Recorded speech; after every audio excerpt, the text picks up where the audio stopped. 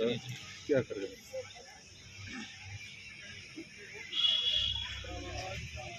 गृहिणी सुविधा योजना के माध्यम से हिमाचल प्रदेश में आदरणीय श्री जयराम ठाकुर जी ने एक बहुत ही अच्छी योजना चलाई है और हिंदुस्तान में हिमाचल प्रदेश एक ऐसा प्रदेश है जहाँ पर ये जो योजना है पूर्ण रूप से घर घर तक पहुँची है। मुझे इस बात की खुशी है कि गाँव में रहने वाले माताएँ और बहनें जो चूल्हे के धुएँ के कारण से बीमार हो जाती थी। और मुझे इस बात की खुशी भी है कि श्री जयराम ठाकुर जी ने इस प्रकार का डिसीज़न लेके पूरे हिंदुस्तान में एक नई मिसाल तैयार की है। आज उसी उपलक्ष्य में जहाँ पे कार्यक्रम था, लगभग साढ़े चार सौ के करीब ऐसी गृहणियाँ थी जिनको गैस का चूल्हा और सिलेंडर दिया है, उसके साथ साथ लोगों ने अपनी समस्याएँ भी यहाँ लेकर आए थे, उनकी समस्याएँ भी सुनी हैं।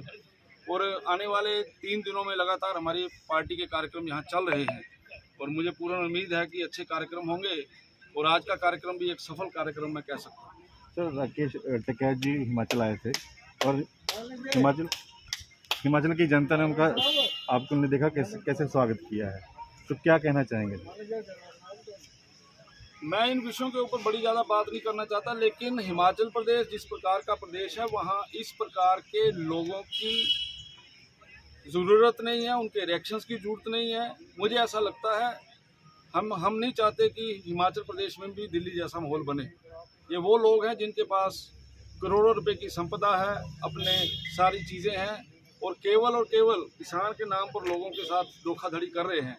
और मुझे इस बात का दुख है कि हिमाचल प्रदेश में भी कुछ लोगों ने ऐसे लोगों को यहाँ लाकर यहाँ का वातावरण खराब करने की कोशिश की। सर जन्माष्टमी पर बधाई देना चाहेंगे? हाँ कृष्ण जन्माष्टमी पे आज सभी बहनें माताएँ यहाँ आई हुई थी। मैंने उन सबको बधाई दी है और आ, मैं जसवा प्रागपुर विधानसभा क्षेत्र के हर नागरिक को भी इसकी बधाई देना चाहता हूँ क्योंकि सब लोग आज इतनी व्यस्तता के बावजूद भी कार्यक्रम में आए हैं। इन सबको बहुत बहुत बधाई